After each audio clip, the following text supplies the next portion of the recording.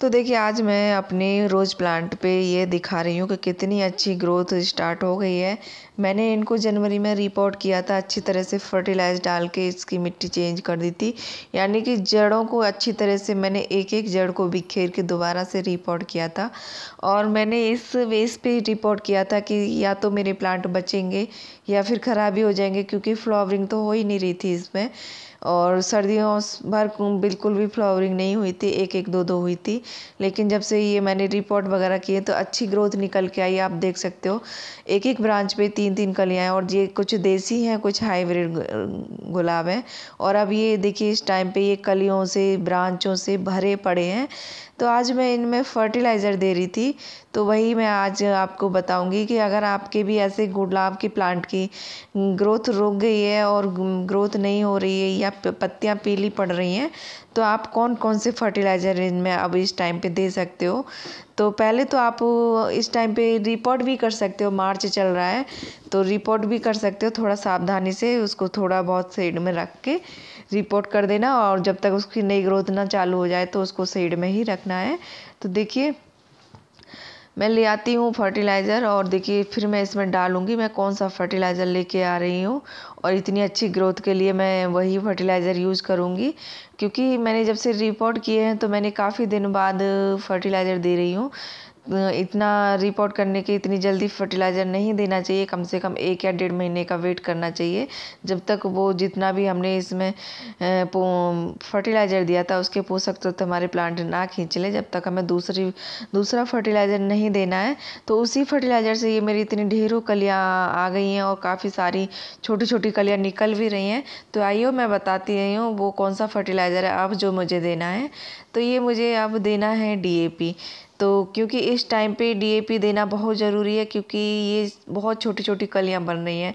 इनको थोड़ी अब ताकत की ज़रूरत है और अगर हम इस टाइम पे हम इस तरीके का फर्टिलाइज़र नहीं दे, देंगे डीएपी वगैरह जो भी है तो ये हमारा प्लांट क्या करेगा? अपनी ताकत कलियों को देगा और फिर कलियाँ ताकत लेंगी तो प्लांट की पत्तियाँ पीली पड़ के झड़ने लगेंगी और ज़्यादातर प्लांट अपना खाना पत्तियों से ही बनाते हैं तो ऐसे में हमें इनको फर्टिलाइज़र देना बहुत ही ज़रूरी हो जाता है।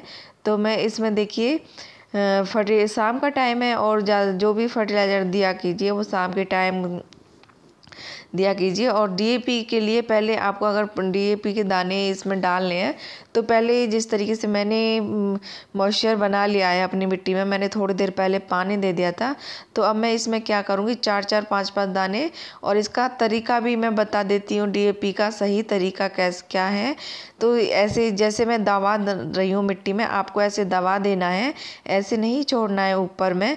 अगर ऊपर में छोड़ोगे तो फिर वो इतना हमारे प्लांट को हेल्पफुल नहीं रहता है। इतना न्यूट माइक्रो न्यूट्रिएंट्स नहीं मिल पाते जो हमारे प्लांट को मिलने चाहिए। और प्लांट की मैन स्टेम से थोड़ा दूर हो, करके हमें ये फर्टिलाइज़र दबाना चाहिए और प्लांट पॉट का साइज़ देख के प्लांट का साइज़ देख के उस हिसाब से देने चाहिए। अगर प्लांट हेल्थी है, बड़ा है तो उसमें छः से सात सात दाने आप डाल सकते हो। अगर छोटा है तो चार या पाँच दाने आप डाल सकते हो।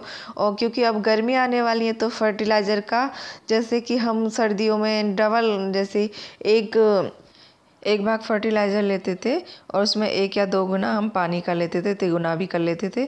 लेकिन अब नहीं करना है। अब एक भाग फर्टिलाइज़र है, उसमें दस गुना में पानी ले लेना है, तब हमें करके डालना है।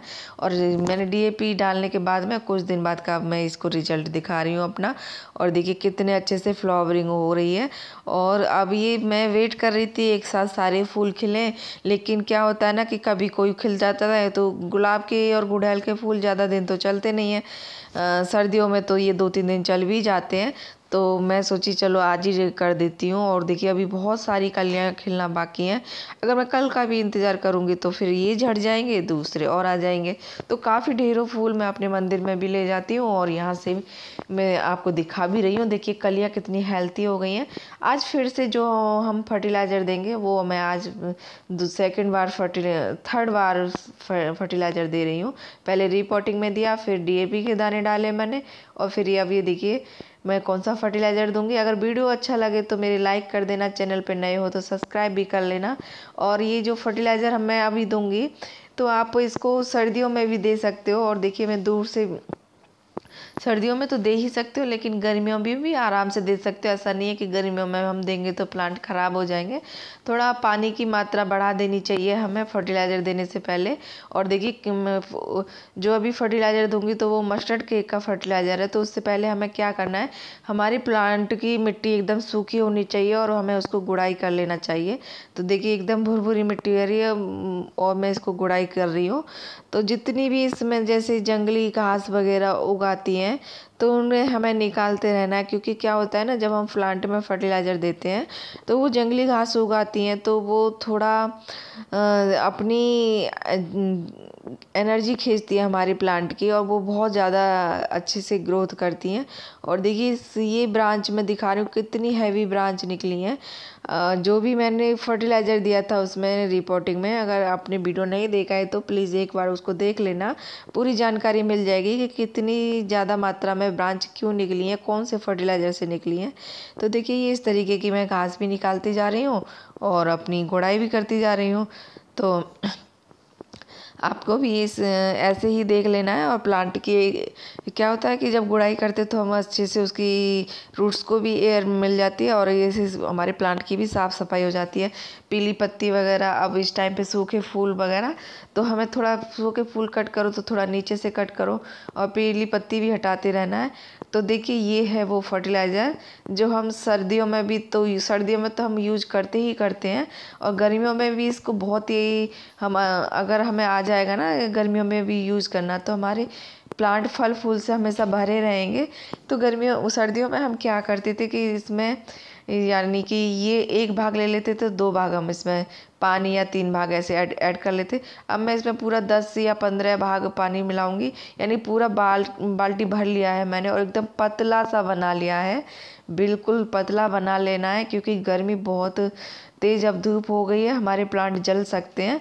और देखिए, मैं इसमें डाल दूँगी। अगर वीडियो अच्छा लगा हो तो फिर भी मैं यही कहूँगी लाइक कर देना। प्लीज़ लाइक कर दिया कीजिए कमेंट करके बताना कैसा लगा है। तो चलती हूँ, मिलती हूँ किसी और नई वीडियो में। Bye bye